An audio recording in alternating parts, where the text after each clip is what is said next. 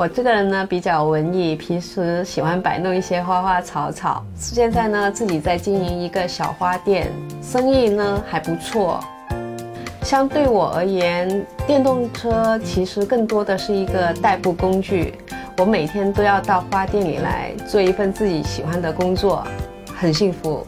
对于我们花店而言，其实最重要的是要守时，因为一般送花都是重要的时刻送给最重要的人，绝对不能迟到的。如果在送花的路上车坏了，花不能及时送达，那除了会影响我们花店的声誉外，还会给客户带来持续很久的坏心情，所以车的品质对我们来说是尤为重要的。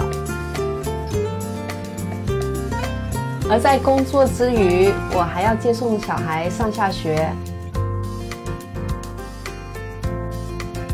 每年由劣质电动车引起的事故那么多，不买辆安全可靠的电动车，我心里是不踏实的。像晋源 T1 这种高品质又省心的电动车，我觉得我是买对了的。